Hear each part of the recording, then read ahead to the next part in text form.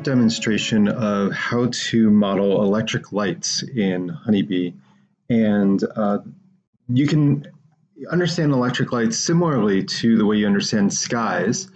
Um, they're a source of light, but an electric light is importantly different in the way that the distribution of luminance is characterized. So I will explain as I uh, introduce the components. Under uh, 0 to daylight, you'll see actually uh, Honeybee IES Luminaire, and I'm going to import that into the canvas. And um, we're going to need to um, uh, to populate some of these inputs. So the first one is an IES file path.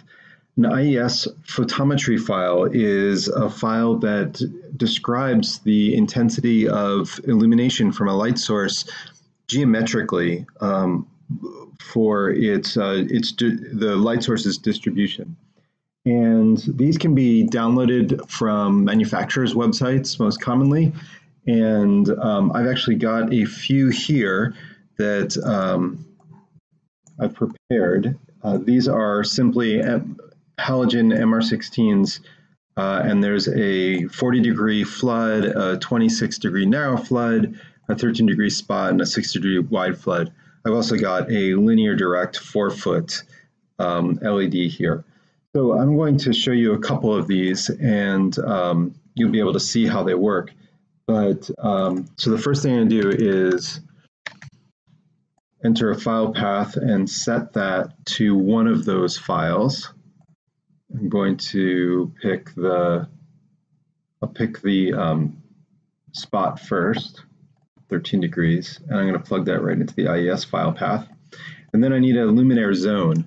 The luminaire zone is up here. There's a component, and this is going to be the way that the um, we can assign a geometric point for each IES file to reside. And so I'm going to plug in a luminaire zone into luminaire zone, and I'm going to um, identify a list of points that um, that that will be the place, the origin for the IES file to originate. So I'm going to type in points. Oops, not those points. Point and hook that up, and then I'm going to define multiple points. In this case, we want, I'm going to have these three spots be um, the, the points, and I've already identified here uh, a point at each um, at each place. I'm going to start, the order matters, you'll see why in a second. I'm going to start here, and if this is not on.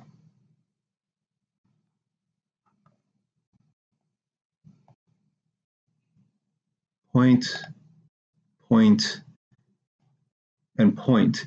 And notice that the blue line um, connects those three points. So you can see the order in which you're assigning them. I'm going to hit OK. And now um, the um, this populates. And now I'm going to assign an aiming point for each of those as well. In this case, I want to aim those at the canvases. So I'm going to select in the same order, one, two, and three. And um, that should be good.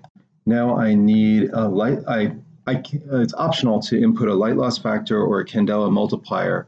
I'm going to leave that as it is for now. That's simply a fraction that will um, reduce or increase the lumen output of the uh, light fixture. Uh, custom luminaire name. So I'm going to name this as a 13 degree spot.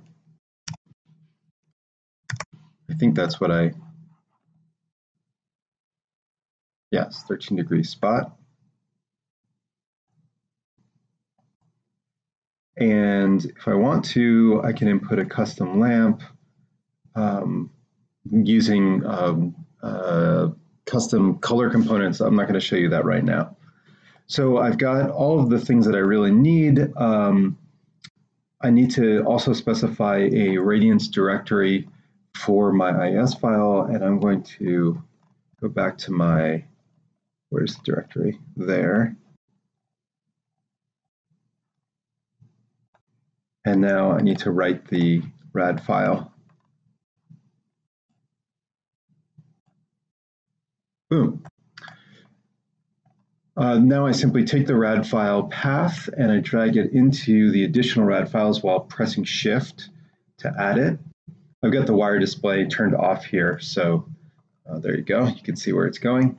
Since I want this to be a dark sky so I can actually see the electric lights on for this demonstration, I'm going to unplug the sky file path, which was my daylight sky, and I need to include a dark sky. So luckily we've got one here, Honeybee Generate Dark Sky. I'm going to plug that into my sky file just for this demonstration. And um, we should be good to go. I'm going to let this run. The screens are launching in the other screen and looks like we should have some results. There you go. So you can see the three spotlights on those three uh, paintings. Now, just for the sake of demonstration, I'm going to also show you what it is like with a different IES file. So I'm going to set a file path to a wide flood now. So this is a 60 degree flood and do the same thing again.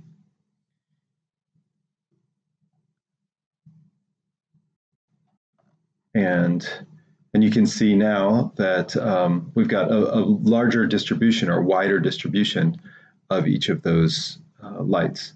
So you can, um, that's what the photometric distribution does. And for each uh, unique type, we need to set up a different uh, zone, luminaire zone. So, um, so that's why in the template file, you can see I've got this set up for 13 degree spots, which are, um, see if I can do this here. The 13 degree spots are, are these three. The 40 degree spot, which, are, which is just this one here, and then a 60 degree spot, which is this one over here. Actually, I don't remember what this one is. This must be a 13 degree as well be this one. Yeah. So this one is also a 13 degree spot. So, um, so all you have to do when you import this is to set the IES file path um, right here. Um, and you should download those IES files from the shared class folder. Um, and then write them and should be good to go. One more thing to notice here is that the light distribution from the lights is different than the geometry of the luminaires. So the fixtures, the fixture geometry is different than the light that comes out of them. Light distribution is assigned, but the geometry associated with the fixtures is not. In order to assign the geometry, this then is has to be a material. And you can see that in our template file, the lights are assigned a, a white material, and that needs to be exported as a mesh, the same as any other material. So make sure you keep straight in your head the difference between the fixture housing and the light that's coming out of it.